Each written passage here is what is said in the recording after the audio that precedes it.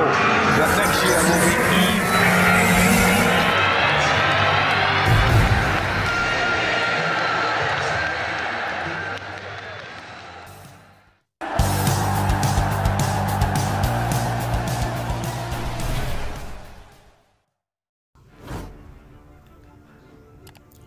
Report Manchester United now weighing up January move for 10 million pounds Everton target with huge potential.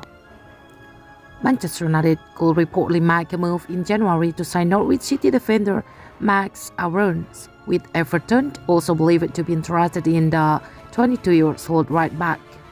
According to the Sun, the Red are eager to add to their right back's option in the winter window, with Aarons emerging as one of the main targets Erik Ten Hag will look to sign for the Manchester Giants in January, tout United face competitions from Everton.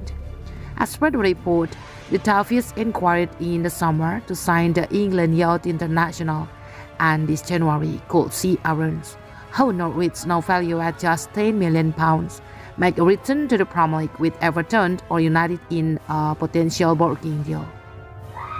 Highlighted by United legend Rio Ferdinand as a player with huge potential, Aarons has been one of Norwich's best players in recent season that has in the youngster win promotion with the Canaries to the Premier League twice, with links to a bigger side always in the rumor mill.